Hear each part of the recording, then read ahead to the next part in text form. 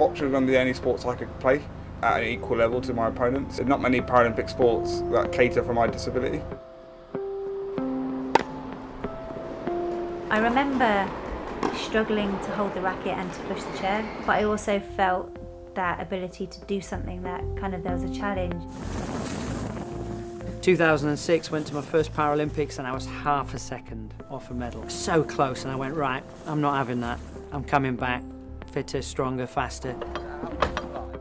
And you really, really need to be a great athlete in order to get the best out of these higher level horses.